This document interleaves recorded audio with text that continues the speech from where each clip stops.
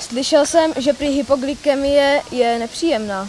Ano, to je pravda, je velice nepříjemná, protože je to nízká hladina cukru v krvi. S dětma si povídáme o tom, co je to hypoglykemie a hyperglykemie, jaké jsou příčiny, následky, co by měli dělat správně u hypoglykemie, hyperglykemie, co jim pomůže, jak by se správně měli zachovat a co to je glukagon a jak se používá. To se píchne dovnitř, stříkne se tam ta voda, zaštěrkáte, to se rozpustí a znova byste to natáhli do té injekce a aplikovali kamkoliv na těle. Do zadku se to děláme. Do zadku, do nohy. Prostě v té do chvíli, v té chvíli to píchneš jako kamkoliv. Třeba mám takový i osobní zážitek, že vlastně, když jsem býval ještě na perech, tak mm, jsem si píchl inzulín a ještě předtím jsem běhal, což byla chyba, protože ten inzulín ještě tu glykemku snižuje a ten pohyb taky. A to mi nedošlo, protože jsem byl ještě menší o dost.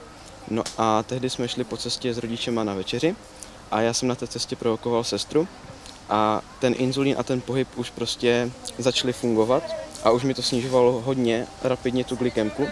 A jak se, se sestra po mně rozeběhla, tak já jsem chtěl začít utíkat, ale nemohl jsem, protože jsem přestal ovládat nohy. A vlastně šel jsem do cesty a přede mnou jelo auto a prostě já jsem chtěl ze všech sil ty nohy ovládnout a jít zpátky doleva, ale prostě to nešlo, protože ty nohy si dělali, co chtěli. Ale měl jsem štěstí, že sestra zareagovala velice rychle a strhla mě zpátky na cestu a zachránila mě. Jaký jsi měl nejhorší hypo?